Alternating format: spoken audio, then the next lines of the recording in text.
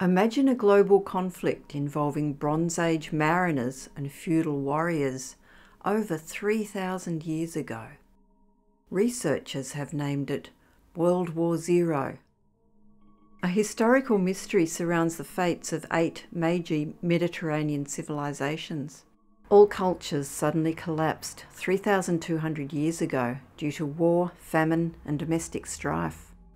Geoarchaeologist Eberhard Zangger theorises that World War Zero accelerated the demise of these advanced kingdoms. Late last century, archaeological digs started finding evidence that many sophisticated feudal societies flourished in the lands around the eastern Mediterranean between 1700 and 1200 BC, the Late Bronze Age. The interior of Anatolia, a Mediterranean peninsula which is now part of modern Turkey, was ruled by the centrally organised Hittite state, its great king residing in Hattusa near the Kızılırmak River.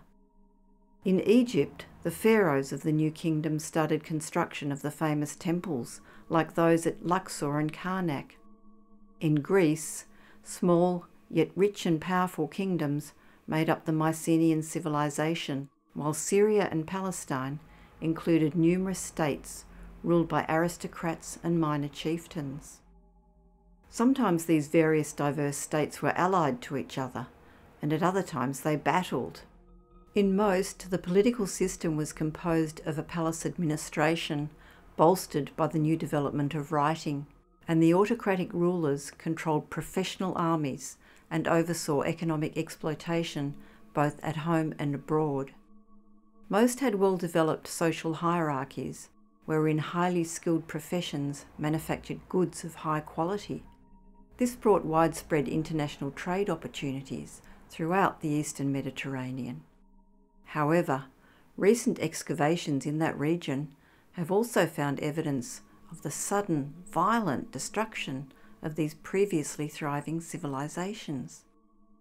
According to Zangger, in 1177 BC, unidentified marauding armies, known only as the Sea Peoples, attacked Egypt.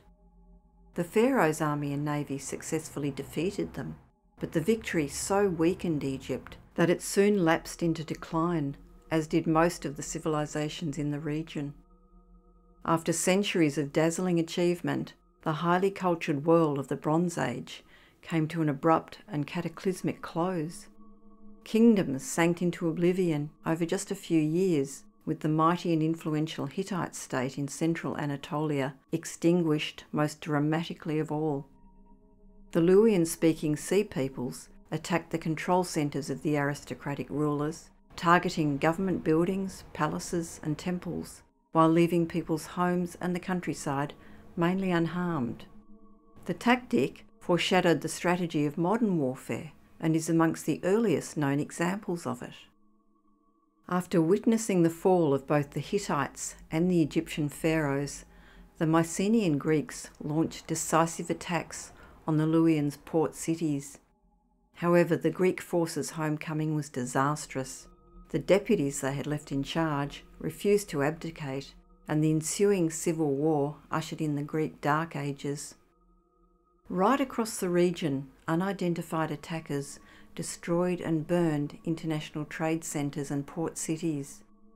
After the devastation, most of the razed cities were either abandoned or rebuilt on only a minor scale. Right across the eastern Mediterranean, advanced and noble societies became settlements of herdsmen and shepherds.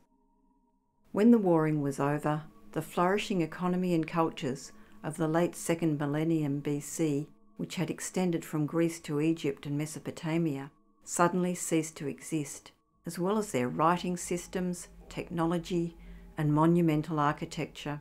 Even entire languages had disappeared. According to Zangger's hypothesis, World War Zero caused the disintegration of Egypt as well as destroying the civilizations of the Hittites, Minoans, Canaanites, Cypriots, Assyrians, Mycenaeans, and Babylonians. While their common enemy was thought to be the mysterious roaming fleet called the Sea People, modern scholars, from archaeologists to historians, still do not know exactly who the Sea People were, from where they came, why they invaded, and finally where they went after their marauding. It is unknown whether the Sea People were warriors, pirates, mercenaries, or even refugees, but perhaps some kind of an alliance amongst groups in Western Asia Minor who spoke dialects of the Luwian language. One theory is that the Sea People alliance was led by the Trojans, who wished to subdue Greece and certainly had a homeland to return to and defend.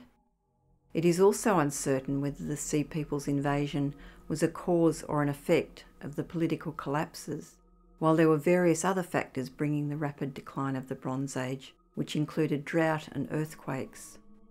Despite the success of the attacks, many scholars aren't convinced that the Luwians were skillful invaders. While they seem to come out of nowhere and lacked any obvious motive, some believe that another unknown factor caused the eight cultures to collapse within the same period. However, Zangger holds that historical documents back up his theory that the Luwians were probably the unknown and aggressive sea peoples mentioned in Egyptian writings. He has even identified sites in Turkey that were possibly established by Luwians, some of them so massive that they are visible from space.